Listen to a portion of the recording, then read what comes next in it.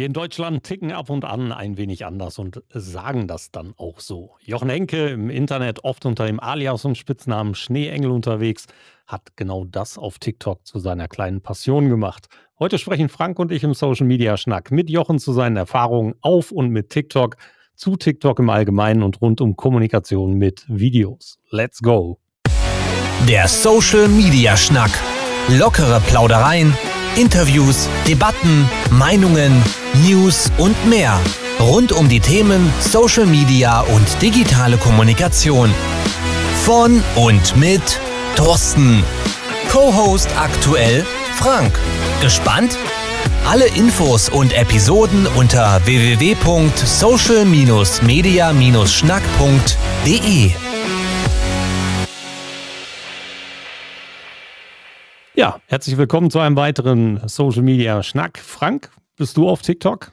Äh, ja, passiv natürlich. Ähm, äh, und äh, in der Tat haben mich die Aktivitäten von Jochen dann doch so ein bisschen getriggert, zu gucken, was da los ist. Und ab und zu höre ich rein, ja. Ja, prima. Hallo Jochen, wo haben wir dich heute erwischt und wie geht's dir?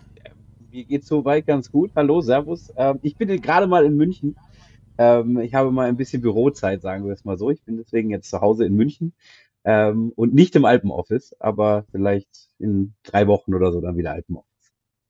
Alpenoffice heißt im Salzburger Raum für dich. Ja, genau, im Salzburger Land, in den Bergen. Ja, besser kann man Homeoffice eigentlich nicht gestalten, oder? Nee, das ist schon sehr praktisch, wenn man ein bisschen rausschauen kann und die Berge sieht und so. Das passt schon ganz gut. Für diejenigen, die dich da draußen noch nicht kennen, die mit dem Pseudonym äh, Schneeengel nichts anfangen können, vielleicht eine kleine Vorstellung deinerseits. Wer bist du und was machst du im normalen Nicht-TikTok-Leben? Äh, ja, also ich bin der Jochen ähm, und äh, ich arbeite ähm, bei der Schlüterschen Marketing Services ähm, im Content-Marketing-Bereich und äh, war davor lange bei Details ähm, von Klaus Eck in München und äh, davor mal äh, bei einer Brauerei in München, äh, in München sage ich schon, in Salzburg, äh, bei der Stiegelbrauerei und habe da das ähm, Online-Marketing aufgebaut ähm, und betreut. Und davor habe ich mal Journalismus, Unternehmenskommunikation studiert und auch abgeschlossen. Und davor habe ich eine Ausbildung als Radiomoderator gemacht bei der Bundeswehr und äh, habe da unter anderem die Morning Show in, in Kabul moderiert. Na, saugeil.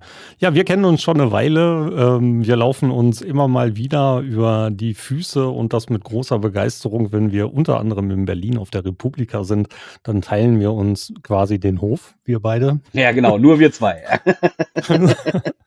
Sonst nichts los. So ist es, so ist es. Ja, ähm, Jochen, wie kommt es eigentlich zu dem Pseudonym Schneeengel? Oh, das ist, äh, da muss ich lange ausholen, prinzipiell. Ich versuche es ein bisschen abzukürzen. Ähm, also äh, es begab sich zu der Zeit, äh, Anfang der 2000er, ähm, dass ähm, ich mit mehreren Freunden immer regelmäßig unterwegs war in, in, im Salzburger Land, halt in, in unserem Haus oder in meinem Haus ähm, zum Skiurlaub. Und wir brauchten damals eine Website, äh, wo wir unsere Fotos irgendwie miteinander teilen konnten, weil Facebook und solche Geschichten gab es da noch nicht. Äh, und alles andere war auch etwas schwierig. Also habe ich eine Website programmiert und da halt einen geschützten Bereich gemacht, wo wir halt die Fotos untereinander austauschen konnten, die wir dann noch teilweise ja schon zwar mit Digitalkameras, aber teilweise sogar auch noch mit analog dann eingescannt und so weiter und so fort dann da hochgeladen haben, damit jeder die Fotos hatte. Und ähm, ja, da sind wir irgendwie auf den Namen Schneeengel gekommen. Und ähm, da gab's halt die Webseite schneeengel.de. Und dann ja, ich sag mal, es ist so ein bisschen so versandet, die Website, und dann kam halt dieses ganze Social Media Kram Zeugs, beziehungsweise äh, eigentlich noch meine Radiomoderator-Ausbildung und meine Radiomoderator-Sache. Und ich brauchte eine Website, wo ich meine Airchecks draufladen konnte. Und Vorname, Nachname.de war mir einfach zu langweilig. Und da erinnerte ich mich an diese Schneeengel.de Seite. Und ähm, da fing das dann an. Und dann kamen so die ganzen Social Media Sachen und da habe ich mich dann überall als Schneeengel angemeldet. Und dann war es geschehen, in Anführungszeichen. Ja. Ja, Schneeengel mit 4E, nicht zu vergessen. Also einfach mal vernünftig googeln, dann findet ihr unter Schneeengel Official oder Schneeengel auf den ganzen Plattformen Jochen in seiner zahlreichen Social Media Präsenz. Ähm, ja, kommen wir direkt zum Thema. Du bist auf TikTok seit einer Weile sehr aktiv. Äh, was macht TikTok für dich im Konsum interessant als Teilnehmer. Noch nicht als Creator, sondern als Teilnehmer und Konsument. Ja, äh, also als Konsument bin ich schon sehr lange eigentlich oder länger schon da. Da war ich, war ich sogar schon beim Musical.ly ähm, und habe es mir wirklich sehr lange einfach nur angeschaut ähm, und konsumiert. Ich sage mal, zu Musical.ly-Zeiten war es noch etwas schwierig. Da habe ich dann selber noch den Sinn noch nicht so verstanden. Da war ich da raus irgendwie, wenn ähm, 12-, 13-jährige Mädchen da irgendwie äh, da rumtanzen und Lip-Sync machen. Das, ja, ich sag mal, Mini-Playback-Show fand ich früher auch ganz lustig, aber irgendwie er hat es mir nicht so getriggert.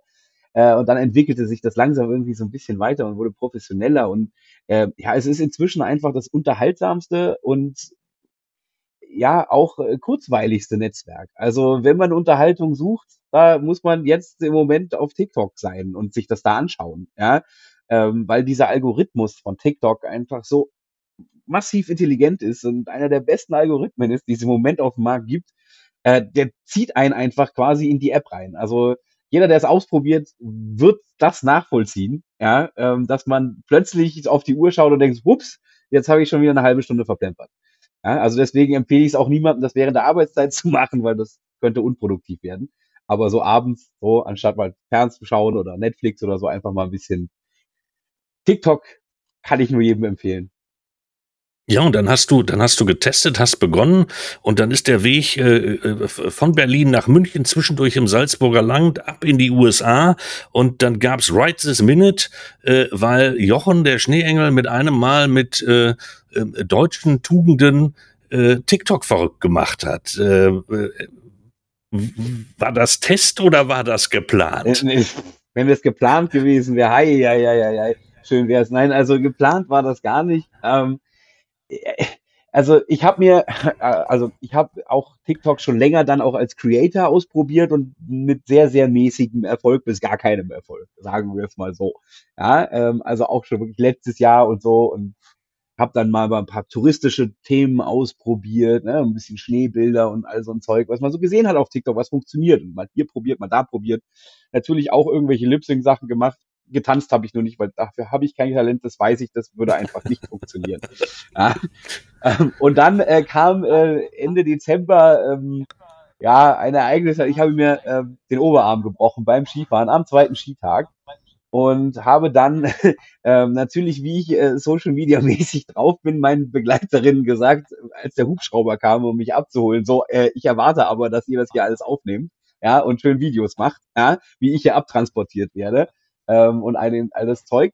Und habe dann im Krankenhaus später, als ich dann wieder einigermaßen bei mir war, äh, dann auch ein Video, ein, ein TikTok hochgeladen, halt so von meinem Fail-Tag, so von meinem, also da gibt's ja so einen berühmten Sound, dieses Oh no, oh no, oh no, no, no. So, ne? Und, und daraufhin habe ich dieses äh, Video halt zusammengeschnitten mit erst Skifahren, alles gut, und dann Hubschrauber fliegt weg. So. Das war das erste Video, was zumindest mal über 10.000 Views hatte. Das war für meinen kleinen Account, der noch keine 1000 Follower hatte, schon ein Riesenerfolg. So. Ähm, und dann habe ich eine Weile, als ich auch meinen Arm halt ein bisschen schonen musste, ja, mein, meinen linken Arm oder nicht groß benutzen konnte, halt mit einer Hand geht das aber bei TikTok auch ganz gut, habe ich dann halt aus Langeweile, weil irgendwas musste ja machen den ganzen Tag, ja, wenn du so krank geschrieben bist, ähm, halt auch angefangen, irgendwelche anderen Sachen zu machen. Also ah, einfach irgendwelche Comedy-Sounds halt so und, und, und solche Geschichten und dann auch ein paar selber zu machen. Unter anderem war halt ein Sound da in Germany, ähm, uh, We Don't Say, ja. Ähm, und den habe ich ausprobiert. Also der war von jemand anders und der funktionierte schon sehr gut. Der hat dann fast die 900, also fast die Millionen äh, Views zusammengekriegt. Habe ich mir aber nichts weiter bei gedacht. Habe mich natürlich riesig gefreut und habe dann immer weitergemacht. Da war noch ein anderes Fail-Video dabei. Also Fail-Videos funktionieren immer gut bei TikTok. Ja, und habe dann auch ein bisschen mit Bier ausprobiert, weil ne, Bier, das bin ich und ja, die, die funktionierten auch so ganz gut, ja. Und dann kam noch mal so ein In Germany We Don't Say, ein anderes, äh, das ich dann auch wieder ausprobiert, auch wieder Lip Sync. Das funktionierte dann auch ganz gut. Da kam ich dann langsam ins Grübeln. So, dann, okay, ja, da, da scheint irgendwie was dran zu sein an diesem. Das scheint irgendwie zu mir zu passen, keine Ahnung. Da scheint der Algorithmus zu gutieren, wenn ich sowas tue. Also habe ich dann überlegt, was könntest du denn selber machen und habe dann selber so mal ein paar Sachen eingestreut und halt auch gemerkt, ja gut, die, die laufen ganz gut. Ähm, habe dann natürlich auch immer vorproduziert. Ich habe mich dann meistens hingesetzt und dann fünf, sechs Stück gemacht, so dass ich so für die Woche mal ein bisschen Ruhe hatte. Und unter anderem war halt ähm, eins dabei, was ich, was mir so spontan einfiel, so ne, in Germany. Uh, we don't say what a lovely evening, uh, but I think I have to go now. Ja, äh, sondern in Germany we say so. Ja, was, was, also das, das habe ich mir ja auch nicht ausgedacht. Ja, das, das ist ja schon ein Meme, was keine Ahnung vor ein, zwei, drei Jahren schon mal durch, äh, durch, durch Twitter ging und, und all, all sowas. Ja, aber es fiel mir dann so wieder ein und dachte, das könnte man ja eigentlich auch mal übersetzen auf TikTok.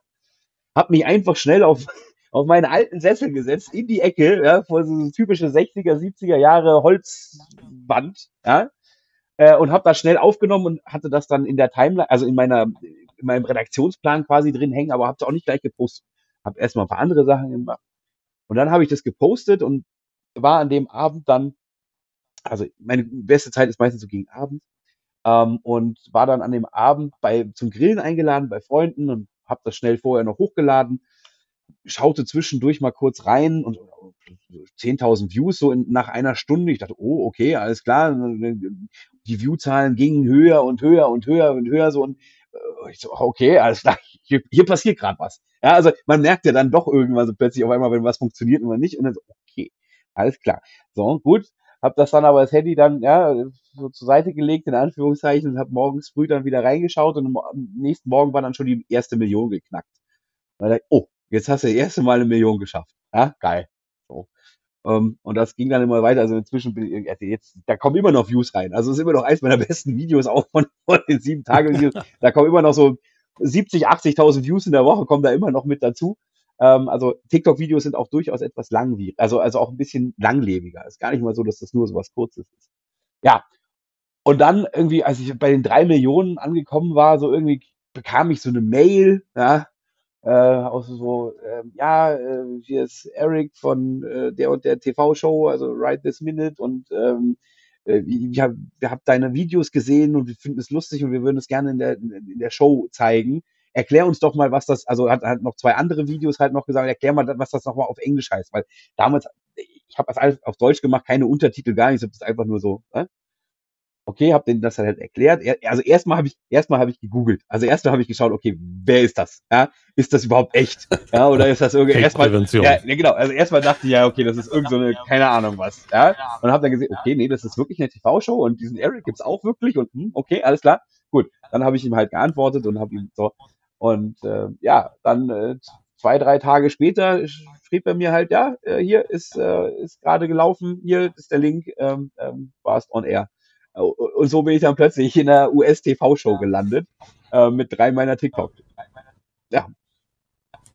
Spitze. Was eine Geschichte. Ja, aber davon lebt es wahrscheinlich auch. Also du hast ja gerade am Anfang gesagt, das ist eines der unterhaltsamsten Medien und die Medien, die am meisten Unterhaltung gerade für dich auch ausspielen.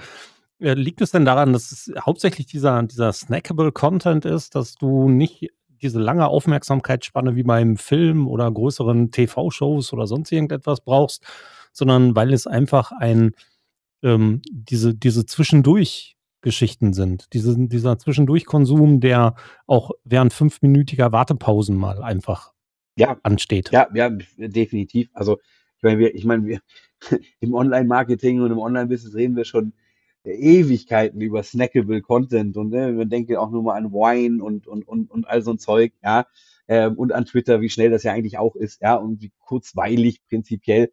Ähm, natürlich ist das ein, ein Faktor, ja, also diese, ich weiß, ich muss mir, also auch wenn es inzwischen geht, ja, ich muss mir keine drei Minuten Videos oder zehn Minuten Videos anschauen, sondern ich schaue mir 15 Sekunden an, so im, zum Großteil.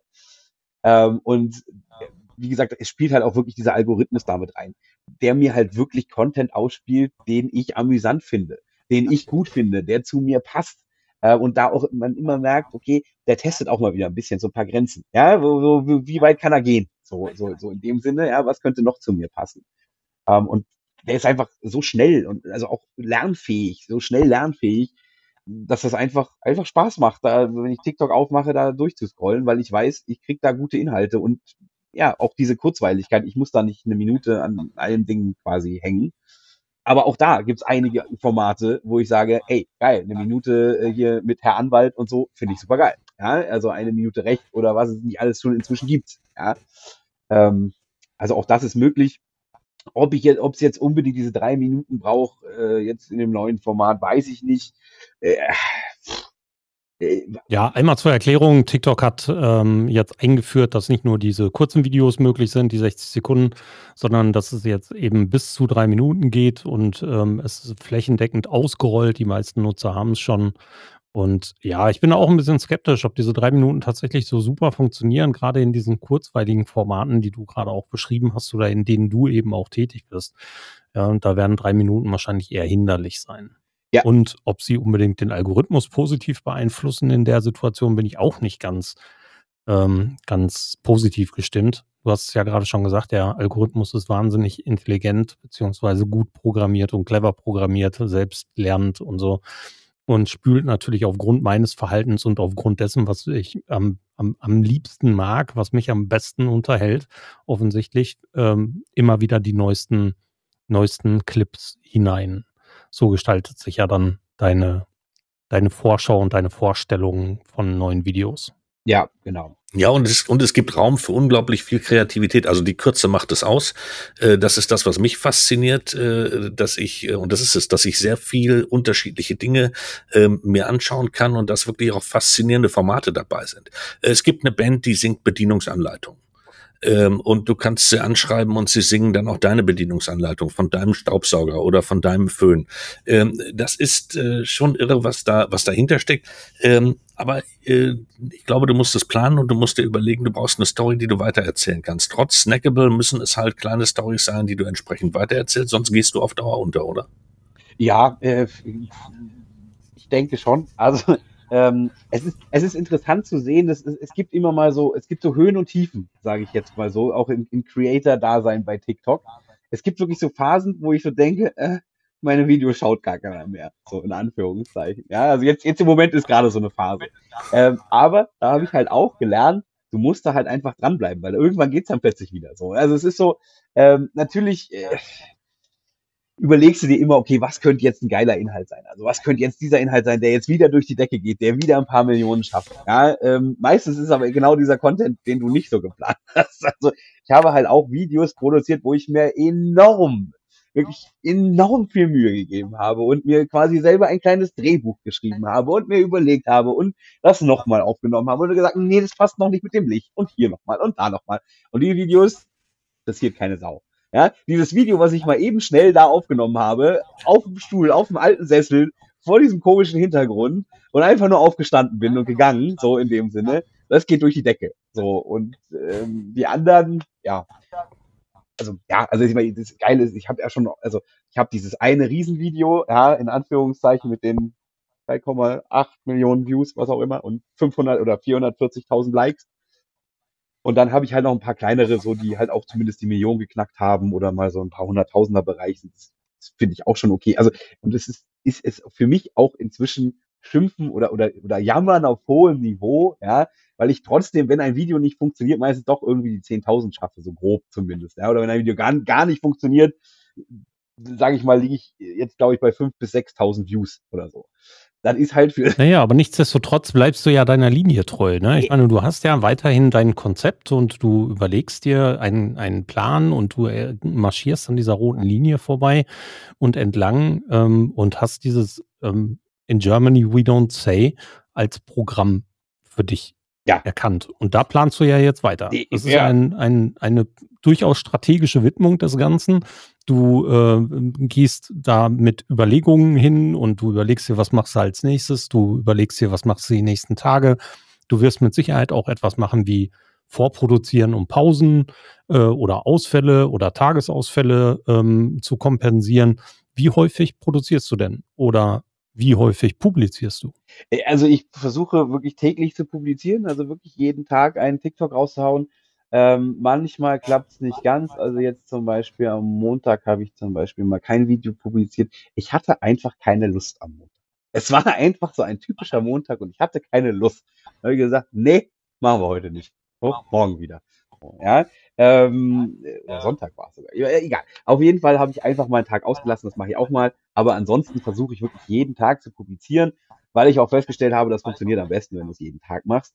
Ähm, ich produziere natürlich vor, weil ich habe, ich, ich mache das nebenberuflich, in Anführungszeichen, das ist wirklich nur ein Hobby, ja. Ähm, und äh, dem Noch. ja, ich glaube, das wird auch noch eine Weile bleiben. Also äh, ich bin zwar im TikTok Creativity Fond, aber so viel Geld verdient man damit nicht, kann ich mal so sagen.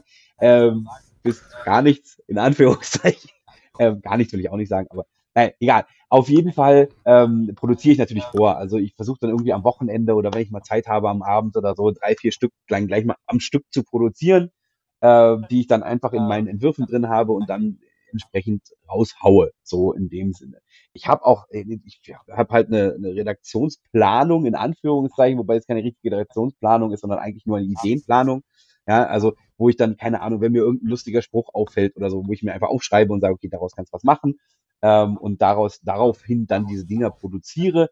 Ich habe auch noch ein paar so in der, in der, in der ja, in der Pipeline, wo, wo, wo ich halt bestimmte Orte für brauche oder so. Ja, also keine Ahnung, ja, mein Schwein pfeift zum Beispiel. Oder ich verstehe nur Bahnhof. Ja, das, das will ich natürlich machen, wenn ich am Bahnhof stehe. Ja, und mein Schwein pfeift, dann will ich auch ein Schwein daneben haben. Solche Geschichten. Ähm, aber dann habe ich natürlich auch irgendwelche Sachen, die ich ortsunabhängig produzieren kann und auch einfach raushaue. ich dann auch aber dann, dann sagst du ganz klar, das schnelle Format erfordert aber auch eine hohe Frequenz, um dran zu bleiben. Ja, ich glaube schon. Also ich habe, wie gesagt, ich habe bevor es halt dieser, jetzt der große Sprung kam, in Anführungszeichen, habe ich mehr, habe ich wirklich viele Sachen ausprobiert, so nur zweimal in der Woche produzieren, was auch immer. Und gerade nachdem der Erfolg kam, war es extrem wichtig, da dran zu bleiben. Und also irgendwie gefühlt. Also ich habe es halt nicht anders ausprobiert. Ich ja, kenne kenn ja nur das Ergebnis, so in dem Sinne, dass ich dann gesagt habe, okay, jetzt musst du dranbleiben, jetzt, jetzt, zack, zack, zack. Ja, ähm, weil ich halt auch von anderen und von vielen anderen Creator halt gehört habe, täglich produzieren oder publizieren ist schon wichtig, ähm, um da irgendwie auch sichtbar zu bleiben. Aber also das Interessante ist zu sehen, wenn ein Video nicht funktioniert, in Anführungszeichen nicht funktioniert, wie gesagt, es sind immer noch ein paar tausend Views, ja. Hätten mir das vor vier, fünf Monaten jemand gesagt, du hast ein paar tausend Views auf TikTok, wäre ich durch den Raum gesprungen. So, ja. Also ich muss mich da immer wieder kneifen und sagen, ey, komm mal wieder runter. Ja, also 5.000, 6.000 Views sind 5.000, 6.000 Views. Krieg, krieg mit einem TikTok-Video, äh, mit einem Twitter-Video nicht so schnell. So, ja. Und ähm, jetzt, äh, genau, äh, bin ich ein bisschen raus, aber egal. Das macht nichts. Ähm, ähm, äh, wie gesagt, genau, wenn Videos mal nicht so gut funktionieren, merke ich halt äh, von, den, von den Stats her, dass alte Videos auf einmal plötzlich wieder gut funktionieren. Oder also dass da plötzlich diese Likes reinkommen auf die alten Videos. Und wie gesagt, also das ist nicht so, dass TikTok, obwohl es so schnelllebig und kurzweilig ist, ähm, sind die Videos trotzdem auch länger sichtbar und werden auch länger ausgespielt. Natürlich auch gerade die Videos, die sehr gut funktionieren, weil dann TikTok immer weiter versucht, okay, in welcher Zielgruppe könnte das noch funktionieren oder auch in welchem Land. Also auch das ist interessant zu, zu sehen, wie man auf einmal merkt, okay, erst hat man deutsche Kommentare.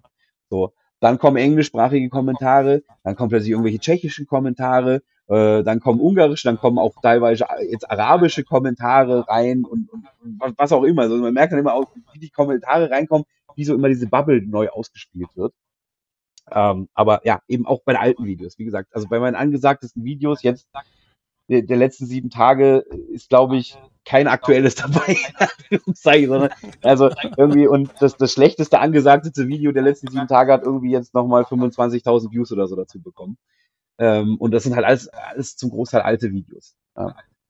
Und dein, eines deiner Learnings daraus, dass es eben ähm, international plötzlich irgendwie steil ging, war, seitdem machst du auch deutsche Untertitel und Eng oder englische Untertitel zur Erklärung, was auf Deutsch dann in Deutschland gesagt wird. Ja, genau. Also, weil ähm, ich habe dann, also wie gesagt, also bei diesen ersten dreien sowieso, die musste ich ja erklären, also der TV-Show musste ich erklären und danach habe ich dann angefangen, also danach habe ich dann auch bei den Followern gemerkt, also ich habe halt jetzt inzwischen, was habe ich, ich schaue gerade mal nach hier, 33 äh, Prozent meiner Follower kommen aus Deutschland, 16 Prozent kommen aus den USA, 3 Prozent kommen aus Vietnam. Keine Ahnung warum. Ja, 3 Prozent aus Mexiko und 2 Prozent aus Indonesien. So. Ähm, und ich habe halt gemerkt, wenn ich dann plötzlich nur, wenn ich dann so deutsche Videos gemacht habe, also deutsche, so richtig auch, auch so Lip-Sync, keine Ahnung, irgendwie, irgendwas Lustiges auf Deutsch, ja, kam dann so, ha, habe ich nicht verstanden, kannst du Untertitel, also so, äh, so, mach doch mal bitte, erklär's doch mal auf Englisch. Und dann habe ich halt gemerkt, okay, alles klar, mh, hm, okay. Und habe halt die angefangen jetzt zu untertiteln. Ich habe jetzt ab und zu auch mal wieder ein Video probiert, ohne Untertitel ein deutsches. Da kam dann eben gleich, also das war halt eins von, von Antoine, das etwas komplizierter war, das auch zu untertiteln und das wollte ich nicht übersetzen. Das kann man gar nicht übersetzen, so richtig, so Fiat Punto und hat sich jetzt Cinquecento gekauft und keine Ahnung was. Wie soll ich das jetzt groß mhm. übersetzen? Ähm, da kamen dann aber auch gleich die Kommentare so, verstehe ich nicht, aber es sieht lustig aus. So, so, so in dem Sinne. Ja? Ähm, ich komme nicht mehr drum rum. Ich muss entweder Englisch-Content machen, englischsprachigen Content oder das Untertiteln, ähm, damit die Leute zufrieden sind. So, ja. Jetzt hast du eben gesagt, du machst eine Redaktionsplanung, du planst es äh, recht professionell vor, du veröffentlichst jeden Tag, du nimmst dir Zeit, du speicherst ab, du wartest auf Gelegenheiten und Orte, ähm, um die Videos dann weiter zu drehen oder zu finalisieren. Das auf der einen Seite, auf der anderen Seite ähm, bildet sich auch durchaus ein gewisser Erfolg ein. Nichtsdestotrotz machst du es aus Hobby und verdienst damit kein Geld. Was bringt dir das? Es ist, ist es tatsächlich Hobby zur Unterhaltung? Äh, ja, was bringt es mir? Also A, bringt es mir Spaß. Also es macht halt schon Spaß. Also A macht natürlich auch Spaß, wenn, also, ne, das kann mir keiner erzählen, wenn er plötzlich ein Video hat, was ein paar Millionen Views hat und, und keine Ahnung, was das einem das nicht Spaß macht zu sehen, so dass da dass man auf einmal 440.000 Likes hat. Ja, also das ist enorm, ja, oder das Video mehr, Klar, mehrere tausend Mal äh, natürlich geteilt wird und so. Und die Zahlen, also die Zahlen von dem einen Video sind sowieso krass. Ja, also das auf der einen Seite. Auf der anderen Seite äh, nutze ich es natürlich auch für mich, für die Arbeit in Anführungszeichen. Und deswegen habe ich es eigentlich auch erst richtig angefangen, weil ich gesagt habe, okay, ich will es verstehen. Ich will auch verstehen, was da so für Erfolgsfaktoren hinterstecken oder was man machen muss oder machen kann. Also machen muss, ist, ich kann kein einmal eins sagen. Ich kann dir nicht sagen, so und so musst du es machen, weil das, das ist auch immer wieder ein bisschen individuell. Aber ähm, halt wirklich so, halt das ein bisschen besser zu verstehen und auch die, die, die, Mechanismen im Hintergrund zu verstehen. Und natürlich habe ich es gemacht mit, in Anführungszeichen, mit dem Wunsch, da auch irgendwann mal was Erfolgreiches zu, zu, zu lancieren, äh, damit ich nicht nur einfach so der Berater bin, der sagt, so und so muss das machen bei TikTok, aber selber nur seine 500 oder 100 Follower hat und seine Videos keiner schaut, ja, äh, sondern halt auch dann jetzt sagen kann, ja, also ganz falsch scheine ich, also ich, ich habe es wohl ein bisschen verstanden, ja, also ich bin jetzt noch nicht der Oberinfluencer, aber so ein bisschen scheine ich es zu verstehen. Ähm, und dementsprechend, ich sage mal so, ich verdiene ja indirekt Geld damit, ja, weil halt natürlich dadurch Kunden kommen und sagen, okay, erklär uns TikTok, ja, oder wie, wie funktioniert das, was, was muss man da machen, ja, oder halt natürlich auch mal irgendein Vortrag kommt, ja, und sagt, okay, jetzt erzähl mal davon, so, solche Geschichten. Natürlich verdiene ich damit indirekt, ja. aber ich habe noch keinen Werbepartner. Okay, jetzt kommst du aber ja aus der äh, satirisch-humoristischen Ecke dann damit. Äh, und jetzt kommt das seriöse Markenunternehmen und sagt, hey, Herr Schneeengel, ähm, müssen wir unser Budget umplanen. Äh, wir müssen raus aus den klassischen Bereichen. Jetzt müssen wir äh, auf TikTok. Äh, und jetzt kommt als nächstes die Partei und sagt vor der Bundestagswahl noch ganz schnell, wir müssen unbedingt auf TikTok, wir müssen alle unsere Kandidaten auf TikTok bringen, die jungen Wähler müssen wir abholen. Äh, wo siehst du Grenzen oder wie siehst du die Einsatzbereiche? Wo siehst du Möglichkeiten? Möglichkeiten sehe ich in allen Bereichen, wenn man es richtig macht. Also ich meine, man, man sieht es auf der einen Seite, keine Ahnung, Ahoi-Brause, ja, ist jetzt auch nicht so das Hipster-Ding mhm. gewesen, also läuft aber sehr gut auf TikTok zum Beispiel. Ja, sie haben sich halt auch mit dem, mit dem Friedrich da einen reingeholt, der einfach auch geil ist. Ja, ja. aber auch, auch mit dem Augenzwinkern ja, wieder, genau, ne? Äh, natürlich mit dem Augenzwinkern, aber ähm, auch, auch, ja, ich meine, BMW und also, also so die größeren Dinger sind ja auch durchaus da. Ähm, ich glaube, es gibt für jeden Bereich eine Möglichkeit, auf TikTok erfolgreich zu sein. Man muss es nur richtig angehen. Und in dem Sinne, man muss auch dahinter stehen und richtig sagen, machen. Ja, ja sag, sagt sich immer so, man muss es richtig machen, so, ja, aber ähm, ja, es gibt ja genug Gegenbeispiele. Also die CDU-Meme-Seite auf Instagram ist jetzt nicht unbedingt das beste Beispiel für erfolgreiche Memes. ja, ich meine, die CSU ist ja auch auf TikTok. Ja, ähm, und da ist ja auch ab und zu der, der Markus, äh, der Herr Söder, ja, ganz hemdsärmlich auf einmal unterwegs. Es mutet etwas an wie ein Satire-Account und ähm, ich glaube, die Macher hinter dem Account meint es auch nicht ganz so ernst, aber ich glaube, er meint schon ernst und das macht es schon wieder ein bisschen schwierig, aber ja.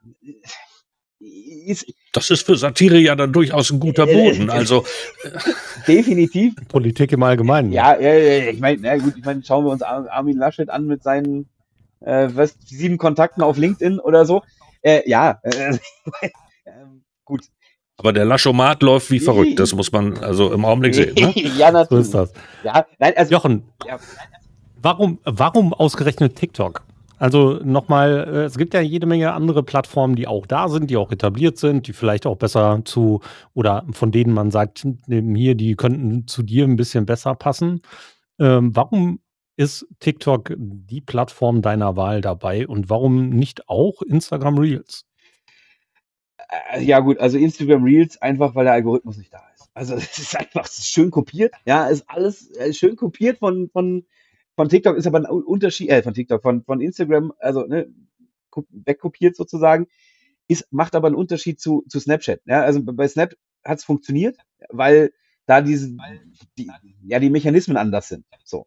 Und wie gesagt, TikTok lebt vom Algorithmus. Und den hat einfach der liebe äh, Klonkrieger Mark nicht geschafft zu kopieren. Bisher zumindest. Und deswegen krepiert halt auch Reels ein bisschen vor sich her. Ja, natürlich lebt, also natürlich hat Reels den Vorteil, dass Instagram dahinter steckt. Und du da Creator hast, die halt auch schon Millionen haben und keine Ahnung was, dann funktioniert so ein Reel natürlich auch. Und dann wird so ein Reel natürlich auch in der Timeline ausgespielt äh, und solche Geschichten. Aber ich persönlich kenne keinen, der Instagram Reels aufmacht, um Instagram Reels zu schauen. Weiß ich nicht. Ich auch nicht. Ja. Mhm, so, und das liegt mhm. halt einmal im Algorithmus. Ansonsten sage ich, also ich, ich sage jetzt auch nicht, es muss jeder auf TikTok und es muss jeder nur auf TikTok und keine Ahnung was. Natürlich, jeder sollte auf seinen Mix schauen und sollte auch schauen, was zu einem passt und wo er sich vielleicht auch die, also wo er auch Ressourcen reinstecken kann, wie viel Ressourcen er hat, ja. Äh, wenn ich halt nur eine Ressource für ein Netzwerk habe, ist vielleicht sogar Facebook das einzige, also die, die, die, die Wahl, ja, weil ich sage, okay, das kann ich relativ einfach bespielen. Ich habe eine relativ breite Zielgruppe äh, und kann ziemlich viel erreichen damit, wenn ich es richtig mache. Ja. TikTok ist halt im Moment sehr geil, weil ich halt organisch im Moment halt, das ist noch so ein bisschen die Goldgräberstimmung, so in Anführungszeichen, ich kann halt organisch noch sehr gut wachsen und kann halt durch den Algorithmus auch mit einem kleinen Account organisch sehr, sehr viel Reichweite schaffen.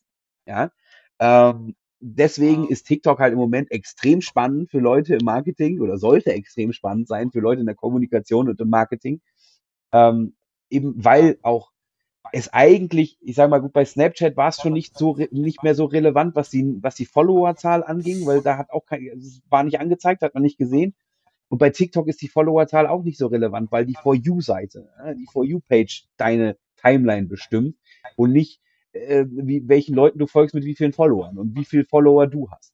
Ähm, und das macht dieses Netzwerk auch extrem sympathisch für mich. Also eben das, klar gibt's immer noch genug, die auf Follower-Sucht sind und auf Follower-Jagd sind und jeden Tag live gehen und Road to 22 und keine Ahnung was, ja. Aber am Ende sind halt die Follower-Zahlen nicht ganz so entscheidend bei TikTok wie bei irgendeinem anderen Netzwerk. Und es ist sehr musikgetrieben in vielen Bereichen. Ne? Also wenn wir, wenn wir das Natürlich. Thema Musik haben, also auf der einen Seite Musik für die Leute als Gestaltungselement, äh, wo sie ja auch clevere äh, äh, Schachzüge gemacht haben, was das Einkaufen von Musik anbetrifft. Und auf der anderen Seite äh, aber auch äh, musiktreibende äh, Künstler sich extrem gut äh, positionieren und darstellen. TikTok, äh, ich sag mal, TikTok bestimmt den Musikmarkt im Moment. Ja, also die Charts auf jeden Fall. Ja, ähm, wenn du also Lieder jetzt in den Charts hörst, die hast du vor einem halben Jahr schon bei TikTok ging die schon rauf und runter. Ja, auch dieses Aiko Aiko und, und das ging schon vor einem halben Jahr bei TikTok. Also bevor das der Sommerhit wurde. Ja, äh, und, und solche Geschichten und ähm, es werden Lieder produziert, dann, also so produziert, dass die in diese 15 Sekunden, dass da die Hook reinpasst, ja, oder, oder auch der Refrain, also, ja, dass, dass, dass man dazu tanzen kann und dazu in 15 Sekunden was machen kann. Äh, Künstler sind in, noch und nöcher inzwischen auf, äh, auf, auf TikTok, präsentieren da ihre neuen Lieder. Ähm, letzt, also letztes oder auch sich, um, ja. um mittlerweile eben, das hatten wir letztens in irgendeinem anderen Talk auch schon mal, äh, dass sie eben ähm, sich dort auf TikTok präsentieren, anstatt wie früher ihre Demo-Tapes an Plattenfirmen zu genau. schicken. Auch, auch das, auch, auch so geht's natürlich, ja. Und natürlich ist, also einerseits so und dann ist, ist auch in gewisser Art und Weise auch schon Musikfernsehen. Ja, also das, was früher MTV, die, die wollen nicht mehr bei MTV und Viva sein, so in dem Sinne, sondern die wollen auf TikTok sein. Ed Sheeran, exklusive, also eine exklusive Partnerschaft mit TikTok. Er hat sein Lied zuerst auf TikTok gestreamt, bevor es irgendwo anders zu hören war. Äh, solche Geschichten hat dann noch während der EM dann noch irgendwelche lustigen Partnerschaften mit TikTok gemacht und irgendwelche lustigen Videos. Dr. Motte, ja, äh, pro, propagiert die ganze Zeit sein, seine neue, quasi seine neue Love Parade, ja, nächstes Jahr. Er macht da Live-Talks und sammelt darüber Geld ein, ja, ruft zu Spenden auf, über TikTok, alles über TikTok, damit nächstes Jahr wieder sowas wie eine Love Parade in Berlin stattfinden kann. Und das läuft alles über TikTok, das läuft über kein anderes Netzwerk. Und das ist halt echt extrem faszinierend, auch für mich natürlich als Radiomensch, ja, Musikmensch, Radiomensch, äh, ist es natürlich auch super spannend, das dann halt auch zu sehen ähm, und halt auch die Lieder zu entdecken und auch, auch sehr lustig halt wirklich, ich sag mal so, plötzlich so 90er Jahre Hits wieder zu entdecken. Ja, also, dass dann plötzlich so, plötzlich diese 90er Jahre Dinge auf einmal kommen. Zwischen, keine Ahnung, vor so März, April war auf einmal Mambo Number 5 wieder plötzlich ganz groß, ja, bei TikTok. Weil sie dann alle irgendwelche anderen Sachen, irgendwelche anderen fünf Sachen vor die, vor die Kamera dann gestellt haben. Ja. Ich unter anderem fünf Bier Krass. Halt, ja. Aber also. Ja, da siehst du aber auch, was für ein Unternehmen da mittlerweile hintersteckt. Yeah. Ne? Ich meine, ähm, als natürlich da ist ByteDance dahinter und ähm, irgendwo habe ich letztens gelesen, dass es im April von irgendeiner Bewertungsagentur als das wertvollste nicht börsennotierte Unternehmen mittlerweile gilt.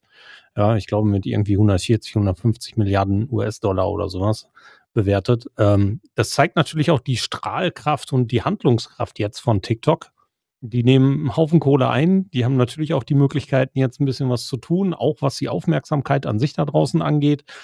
Sie haben äh, als einer der Hauptsponsoren bei der EM äh, aufgedribbelt. Sie machen jetzt irgendwie bei der IAA mit.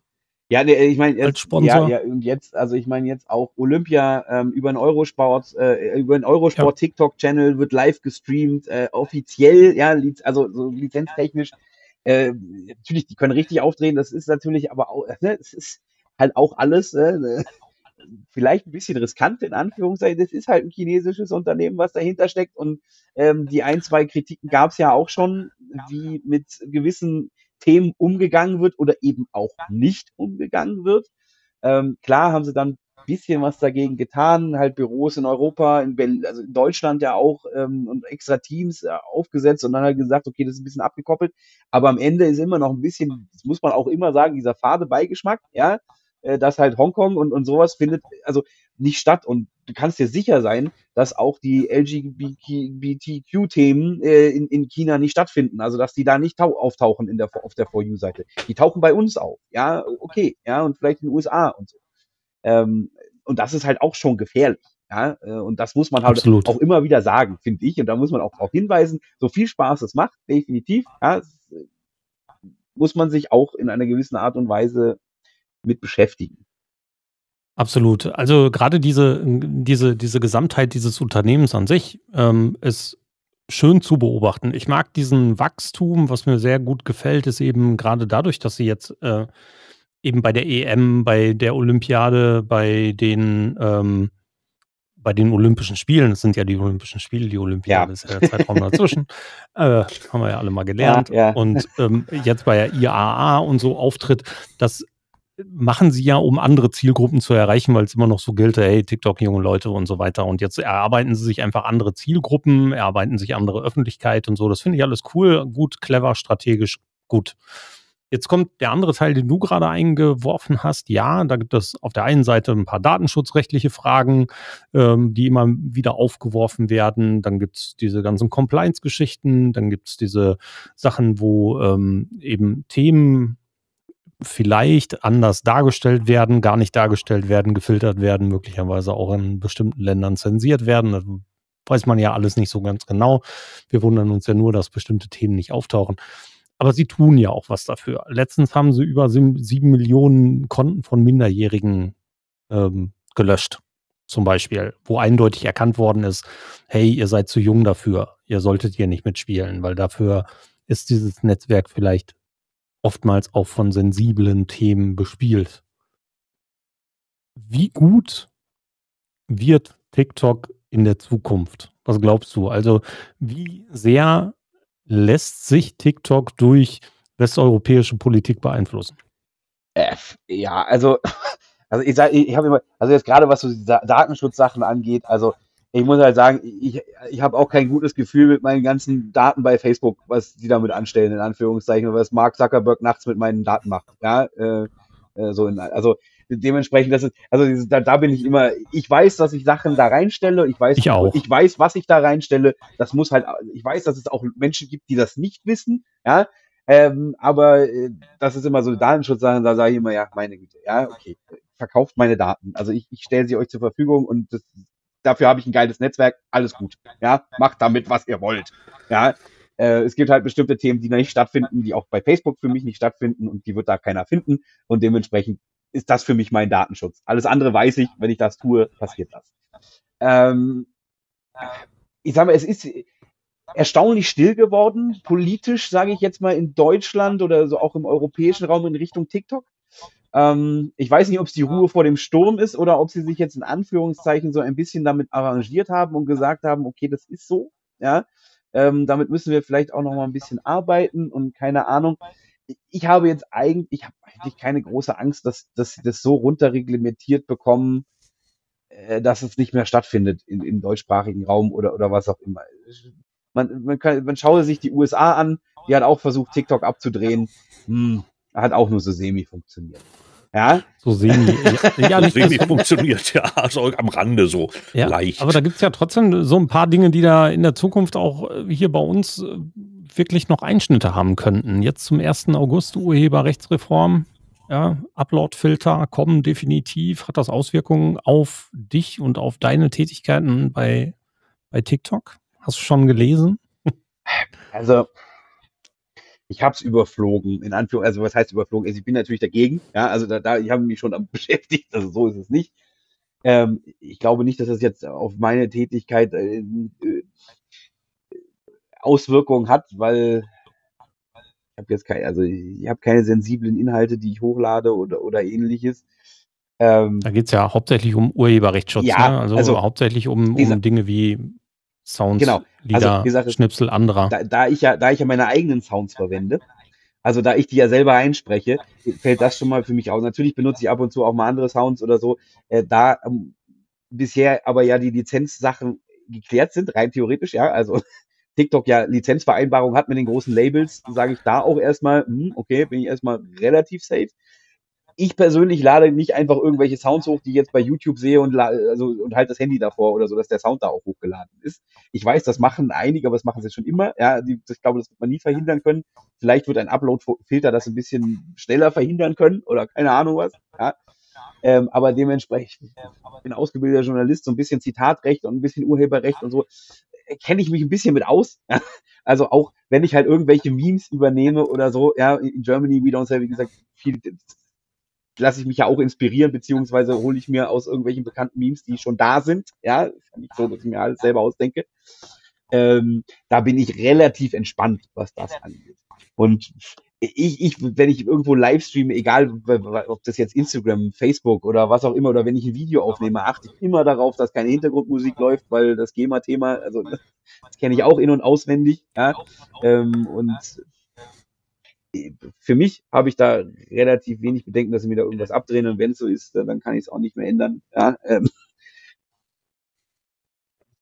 das heißt aber letztendlich dann auch, äh, wenn wir das mal so ein bisschen zusammenfassen, TikTok ist schon äh, eine Gefahr für die großen Player?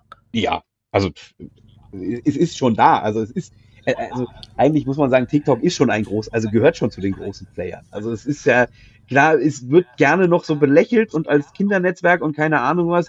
Ähm, aber wie, gesagt, wenn man sich diese Macht anschaut, also auch diese Marktmacht, die inzwischen aufgebaut wurde und auch ähm, mhm. Und auch die Reichweiten, die du da halt hast, ist es schon ein Player, den du nicht vernachlässigen darfst. Und äh, da wird Facebook noch ordentlich dran zu knabbern haben. Also, und am Ende hat TikTok jetzt schon mehr Reichweite in Deutschland oder im deutschsprachigen Raum als Twitter. Ja, also, und, und Twitter wird immer noch als, als ein großer Player gesehen. Oder wurde schon immer klar, ist wieder Multiplikatoren-Netzwerk und so weiter und so fort. Alles klar, andere Zielgruppe, pipapo, tralala. Ja, äh, aber auch das muss man einfach mal sehen. Ja, und wenn ich mir halt anschaue bei meinem 3,8 Millionen Video, ja, ähm, das wurde inzwischen insgesamt 10.323 Stunden, 57 Minuten und 30 Sekunden quasi am Stück angeschaut. Ähm, wenn das kein Player ist, dann weiß ich es auch nicht. Also Wahnsinn. Ähm, ja. Ja, also wenn, wenn wir diese ganzen, ganzen Medien, egal wie wir Videos ähm, da draußen schauen, TikTok ist ein Teil, YouTube versucht es mit YouTube Shorts und sowas, ne? andere versuchen es mit Stories. Äh, das Vertikale wird die Zukunft bestimmen, was gerade solche, solche Formate angeht. Da sind wir uns, glaube ich, alle einig, dass die Menschen eben gerade in der mobilen Form meistens mit dem Hochkantformat durch die Gegend laufen. Äh, TikTok ist mobil. Gibt es für dich Gibt es irgendwelche Tools, mit denen du arbeitest, anstatt mit der App oder bist du tatsächlich nur mit der App unterwegs? Ich bin tatsächlich nur mit der App unterwegs. Also ich nehme mit der App auf, ich schneide mit der App, ähm, ich mache meine Untertitel, also ich mache die Texte dazu über die App, äh, weil es einfach über die App geht. Ja, also ich muss nicht erst irgendwie mit Premiere oder keine Ahnung was. Ich weiß, klar, andere äh, und auch die größeren Creator oder so machen das, also wirklich Videos produzieren, dann und so fertig schneiden und dann erst hochladen. Ich mache das einfach mit der App. Ich mache mir da kein großes. Ich habe ein Stativ, ja, so in dem ich habe ein Ringlicht und so, wenn es sein muss. Und äh, das war's. Ich habe noch nicht mal, ich habe benutzt noch nicht mal ein Ansteckmikro in dem Sinne, weil für das in Germany we don't say reicht das. Ja, da reicht das iPhone-Mikro, so, wenn man will. Ähm, und ich habe bis jetzt auch noch kein vernünftiges Redaktionstool oder, oder was. Inzwischen kannst du ja auch über, über den Desktop hochladen, ähm, bei TikTok und, und, und solche Geschichten. Ähm, ist mir aber alles zu kompliziert. Also, weil ich nehme sie ja eh auf dem Handy auf, dann erst noch auf den Desktop zu schicken, um sie dann da wieder hoch. Nee, da habe ich sie einfach in Entwürfen. Dann habe ich als, als zweites Tool meinen Wecker. Also ich habe halt meinen Wecker jeden Tag, also jeder hat jeder Tag eine andere Uhrzeit, so in dem Sinne. Der klingelt dann, da steht TikTok, dann weiß ich, oh, alles klar, jetzt muss ich schnell in die Würfe, Video hochladen, tschüss, fertig. Ja, ähm, und ich habe meine Google Notizen, ja, wo, wo dann, wo ich mir einfach immer aufschreibe, was, was mir einfällt. So, das war's. So, damit arbeite ich und ja, reicht ja auch. Ne? Also tatsächlich, die TikTok-App ist ja gut. Ich meine, ähm, natürlich könnte man vielleicht ein bisschen mit Zusatzgimmicks arbeiten, wie eine Tastatur. Da muss man nicht immer nur auf dem Handy rumklimpern. Vielleicht geht es damit schneller. Oh. Ähm, ein externes Mikrofon, so ein rote Ding, kostet auch nicht die Welt. Eine Fernbedienung ist vielleicht auch ganz gut, wenn du auf dem Stativ arbeitest. Das kann vielleicht auch mal hilfreich ja, sein. Ja, brauchst du aber, aber, natürlich, aber, das, aber das, Geile, das ist ja TINF. Ja, ja, ne? Also ich meine, also sowas wie, also ich meine, habe ich auch so ein Bluetooth ähm, hier Fernbedienungsding, Bums. Ja, habe ich, hab ich auch. Brauchst du hm. aber nicht, weil dieser geile Timer, ja, der 10 und 3 Sekunden Timer, damit kannst du eigentlich alles abdenken bei TikTok. Ja, wenn du den einstellst, hm. vor allem kannst du dann halt auch noch variieren, bis wo der das macht. Das ist einfach, dafür, dafür brauche ich keinen irgendwie einen Drücker oder so, wo ich dann drauf drücke, sondern das macht er dann einfach von alleine, zählt mir runter. Ich weiß dann, wenn es Ping macht, weiß ich, alles klar, gleich geht's los. Ja, lächeln nochmal schön und fertig. So, ja?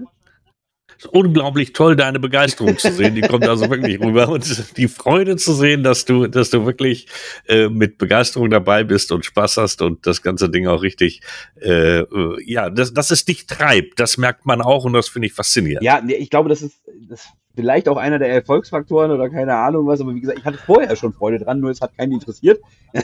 ja, jetzt habe ich Freude dran und es interessiert, interessiert wenigstens noch welche. Jetzt habe ich noch mehr Freude vielleicht dran. Das ist äh, äh, vielleicht der Grund. Aber ich glaube, wenn du das, also auch, äh, auch so als Empfehlung für jemanden, der sagt, oh, jetzt äh, TikTok, ich muss jetzt auch auf TikTok, weil alle sind auf TikTok, also man muss nicht, ja, also entweder man hat Spaß daran, dann, dann, dann kann es funktionieren. Wenn man keinen Spaß daran macht, hat, dann wird das, wird das wahrscheinlich auch nie was werden. Dann wird das nichts ähm, äh, Großartiges, sagen wir es mal so. Ja, von daher, also ich glaube, dass man auch trotzdem ein bisschen Reichweite damit machen kann. Aber ich glaube, aber am Ende bei jedem Netzwerk. Ich muss auch Spaß dran haben, bei Instagram meine Fotos zu bearbeiten und hochzuladen und die richtigen Hashtags dazu zu packen. Wenn ich da keinen Spaß, hatte ich in letzter Zeit wenig Spaß dran, deswegen habe ich wenig bei Instagram hochgeladen. Ähm, habe Instagram Stories genutzt, um meine TikToks nochmal quasi, also vor allem interessanterweise die TikToks, die, ähm, die bei TikTok nicht so gut funktionieren, die habe ich bei Instagram hochgeladen und die haben dann da sehr gut funktioniert. so, also in den, in, okay. in den Instagram Stories. So, ja. ähm, ja ja, aber ich hatte irgendwie in letzter Zeit keine Lust mehr bei, bei Instagram irgendwie Fotos hochzuladen, weil die organische Reichweite für, also, also ich finde es ja okay, wenn sie die organische Reichweite für Unternehmen runterdrehen, weil sie sagen, die sollen da jetzt reinstreuen. Ist alles gut, ja. Aber wenn ich als armer Creator, in Anführungszeichen, der einfach nur aus Spaß an der Freude fotografiert und Fotos bei Instagram hochlädt, warum habe ich immer weniger Reichweite, obwohl ich genau das Gleiche mache, so, so in dem Sinne, ja. Und da hatte ich, hatte ich okay. einfach keinen Bock mehr drauf. Und dann lief das bei Instagram so gut. Äh, bei, bei TikTok so gut. Und da habe ich gesagt, nee, jetzt lade ich einfach auch bei TikTok, äh, bei Instagram nur noch ab und zu mal was hoch. Ja. Und wie gesagt. Okay. Und heut, heute hast du schon veröffentlicht? Ähm, TikTok habe ich veröffentlicht. Ja, um 19 Uhr war heute meine Zeit. Ähm, also ähm, okay. aktuelles TikTok ist draußen. Und ich habe auch bei äh, Instagram Stories habe ich auch wieder ein TikTok, also dann hochgeladen. Äh, bei, bei Reels habe ich es nicht gemacht, aber ähm, interessanterweise, also auch mein In Germany We Don't Say So hat auch bei Reels ganz gut funktioniert. Ich habe es nur nicht hochgeladen, sondern BuzzFeed Germany, die haben mich gefragt, ob sie es hochladen dürfen. Ähm, hat auch ein paar hunderttausend, äh, hunderttausend Views geschafft. Ähm, aber also es scheint auch bei bei Reels scheint es auch irgendwie ein bisschen zu funktionieren, aber gut, BuzzFeed hat auch noch ein bisschen andere Reichweite. Ähm, aber ja, ich sag mal so, ähm, die, die Instagram Stories mit den TikTok Videos haben eine gute, haben eine gute View Rate gehabt in, in letzter Zeit auf jeden Fall. In einem, letzten, in einem letzten Talk haben wir beide schon mal drüber gesprochen. Wie nah bist du deinem Ziel, auf der Straße erkannt zu werden, seitdem gekommen? Äh, noch, noch nicht viel näher. Seitdem sind wirklich keine großartigen, also seitdem sind keine großen Views mehr dazu gekommen, leider.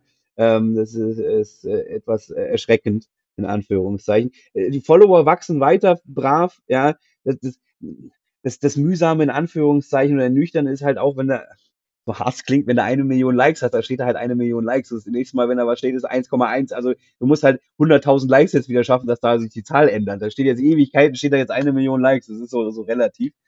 Ähm, aber ich bin jetzt auch noch nicht so oft durch München, durch die Stadt gegangen, aber ich glaube, mich erkennt noch keiner. Also so ist es, äh, ist, ich glaube, also da bleibe ich realistisch und es wird auch noch eine Weile dauern. Ähm, aber vielleicht passiert es irgendwann, vielleicht passiert es auch nie. Ja, äh, ist, vielleicht muss sie auch in irgendwo in Vietnam durch irgendeine Straße laufen. Vielleicht, ja, vielleicht muss ich auch wieder in die USA, aber die machen ja im Moment dieses mit der Einreise machen das ja im Moment nicht so einfach. Ja, vielleicht muss ich da auch rumlaufen, vielleicht funktioniert es dann. Ja, ähm, aber ja, mal schauen. Jochen, wo geht's weiterhin? Was, was ist dein Plan für die nächsten, keine Ahnung, drei Wochen auf TikTok? Hast du da schon alle Dinge zusammen im Kopf, zumindest, was du versuchen wirst, machen wirst? Und letzte Frage dazu. Wie beobachtest du denn, was interessant für dich sein könnte? Ja, also ich, ich habe noch, hab noch eine lange Liste ähm, die ich schon vorbereitet habe. Ich habe da mal was vorbereitet, in Anführungszeichen. Ähm, beleidigte Leberwurst oder so? Ja, ne, ja, das ist, oh, beleidigte Leberwurst schreibe ich mir auch gleich noch auf. Ähm, äh, das, das auch zu diesem Thema, wie kommst du auf Themen? Genau so. Ja, also manche kommen dann einfach und sagen, hier hast du schon, hast du schon das oder das gemacht. Äh, andere Sachen, ja, ich sag mal, die kommen einfach so im Gespräch teilweise. Ja, weil wir Deutschen sind ja so, wir reden halt gerne mit, mit solchen Sprichwörtern oder mit solchen. Heiß wie Frittenfett hätte ich noch. ja, ja, äh, genau, genau, genau solche Geschichten. Ähm, da da komme ich dann einfach so drauf. Und dann manchmal, also ähm, die, die Dinger, die am besten funktioniert haben, da habe ich mich einfach mal so an meine Kindheit äh, versucht zu erinnern und über, überlegt, was meine Mutter immer gesagt hat. Unter anderem diese, diese eine Geschichte mit dem Staubsauger. Ja, also äh, morgens früh mit dem Staubsauger geweckt zu werden am Wochenende. So, so von wegen, so von wegen, dass, dass man nicht einfach mal klopft und sagt, du willst nicht mal aufstehen, sondern einfach zack, Staubsauger an, morgens früh um acht und dann zack, zufällig immer ganz, ganz zufällig immer gegen die Tür krachen. Ganz zufällig, war ja überhaupt nicht mit Absicht. Ja, und sich dann ganz, oh, du bist schon wach. Hm, ja, äh, und so, so, also da versuche ich natürlich auch noch irgendwie so ein bisschen Sachen rauszukriegen, so oder mich dran zu erinnern, was da halt äh, irgendwie passiert ist, weil die funktionieren halt auch ganz gut. Die funktionieren halt auch vor allem in Deutschland ganz gut.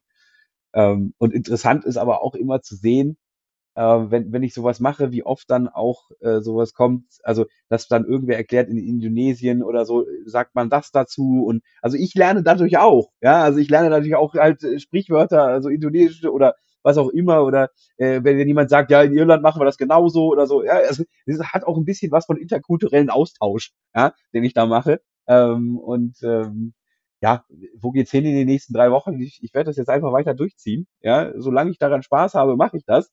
Wenn ich dann irgendwann keinen Spaß mehr habe, natürlich auch so in Anführungszeichen. Ähm, wie gesagt, ich habe ich hab noch einiges in der Pipeline. Ich habe auch noch ein paar Sachen, wo ich halt noch bestimmte Sets für brauche äh, und äh, keine Ahnung, vielleicht kommt ja doch auch irgendwie ein Sponsor um die Ecke und sagt hier, ich will dir das neue iPhone bezahlen oder so, damit du dann im September dir das neue iPhone holen kannst. Ich weiß es nicht.